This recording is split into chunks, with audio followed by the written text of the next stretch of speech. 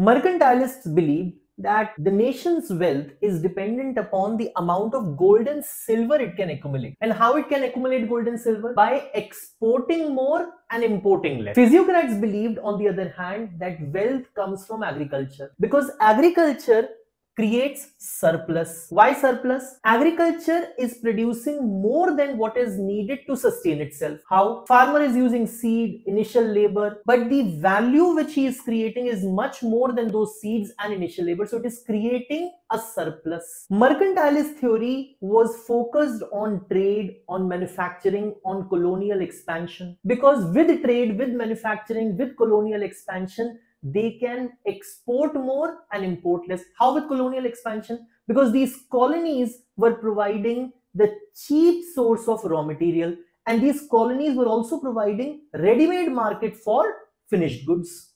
Physiocrats believe that agriculture is the most important sector because this is the only sector which is creating net surplus or net product. Industry and commerce was not that important. Why industry and commerce were not important because they believed that industry and commerce they are just moving goods or transforming goods. Nothing new is being created. So main thing is agriculture for them. Mercantilists believe in strong government intervention because if you want to encourage export industries you want to discourage imports then you need some kind of government which can impose taxes which can impose tariffs on imports. Also government intervention is also required for colonial expansion. So mercantilists believe in strong government intervention. Physiocrats on the other hand they believed in minimal government intervention. They believed in free trade. They believed in natural order. Physiocrats believed that the government intervention in the form of taxes tariffs and regulations they disrupted the natural flow of wealth so they believed in minimal government intervention. This I have already told you that mercantilists believe that industry, trade and commerce, they are the productive sectors, while physiocrats believe that industry and commerce are unproductive, only agriculture is productive.